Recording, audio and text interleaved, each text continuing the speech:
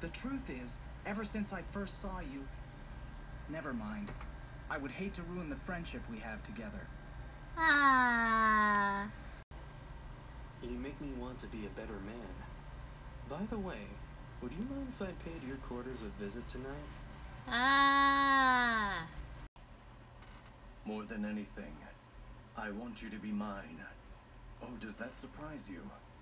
Worry not, for I know these things take time.